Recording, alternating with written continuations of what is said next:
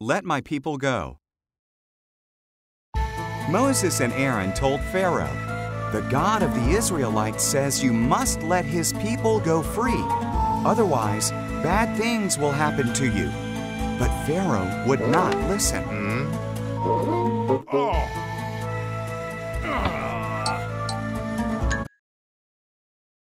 So God turned the water in Egypt into blood.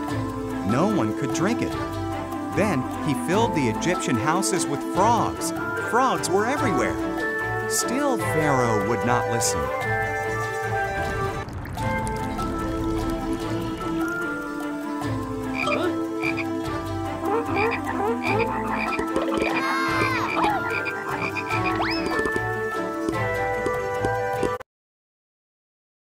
So God filled the skies of Egypt with gnats. They covered the people like dust. Then he struck the land of Egypt with flies. Still, Pharaoh would not listen.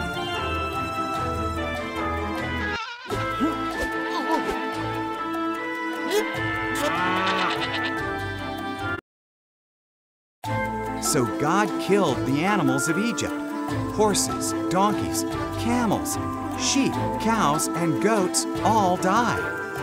Then he covered the Egyptian people with sores.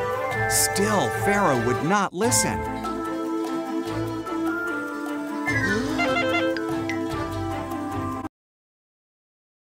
God sent hail to crush the crops of Egypt. Their barley and flax were destroyed. Then he sent locusts to eat what fruit remained. Still, Pharaoh would not listen.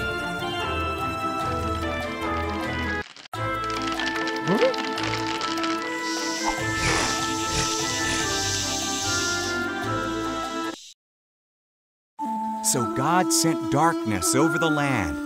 But again, Pharaoh would not listen.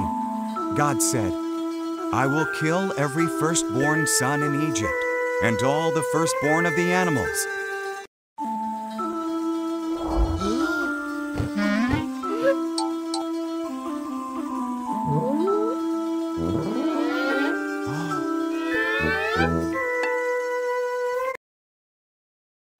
My people must kill a lamb, eat it, and put its blood on their doorposts.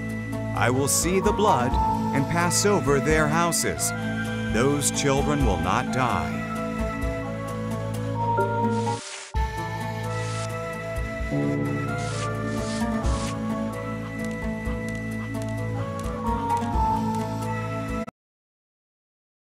You will call this Passover and always remember it. The Israelites obeyed God, but the Egyptian firstborn sons died, even Pharaoh's son. Finally, Pharaoh listened. He let the Israelites go.